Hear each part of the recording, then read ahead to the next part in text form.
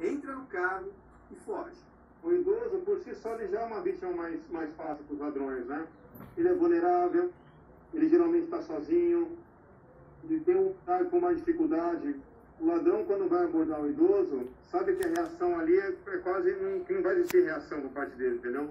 Os cuidados fora de casa devem ser os mesmos para todas as pessoas, mas por serem, na maioria das vezes, mais vulneráveis, os idosos precisam redobrá-los.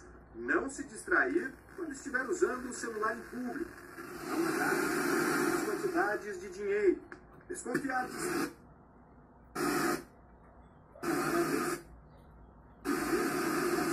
auxílio de pessoas que não sejam funcionários bancários. Dona Januária hoje só vai ao banco com a filha. O assalto de dois anos atrás trouxe prejuízos, não só financeiros.